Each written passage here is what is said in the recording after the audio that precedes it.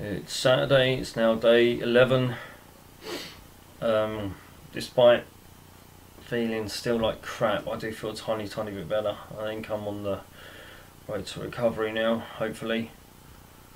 Um, still got just, I don't know, uh, just feels like I'm ill in my head. Um, feel absolutely shattered, fatigued completely, and still getting these muscle spasms. Not as bad actually. Uh, still not sleeping right. Um, not really eating very much at all.